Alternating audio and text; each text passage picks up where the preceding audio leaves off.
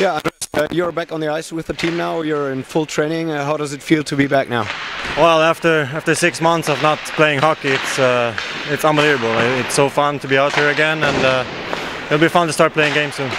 So when will you be starting playing games? Uh, we don't know yet. Uh, I'll, to next week I will have even more practice with the team, and it's gonna feel better. And uh, hopefully Friday I'll play the game, and uh, yeah, we'll see.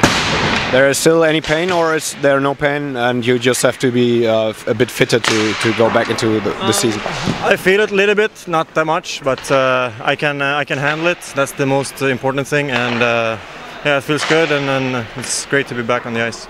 You know now why? What was the reason for this long-term injury? Uh, yeah, I would say it's the most uh, compli complicated injury. I mean, uh, it takes so long time to heal, and it's uh, nothing you can do. You can't do any surgery or anything on it, and uh, you just have to have to rest till it's better, and then you can feel good on the ice.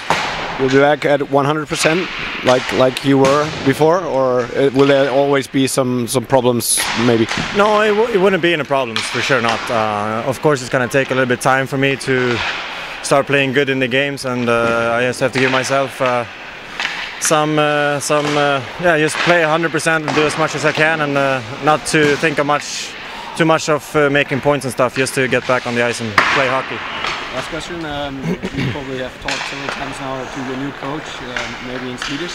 Um, what, what's his? Uh, what's your role uh, in the team he wants you to play when you're back? Um, I think my role is going to be power play, of course, and then uh, try to play offensive my offensive game as I can, and I did my first year here, and uh, yeah, that's uh, what he will let me let me do. Thank you and good luck. Thank you.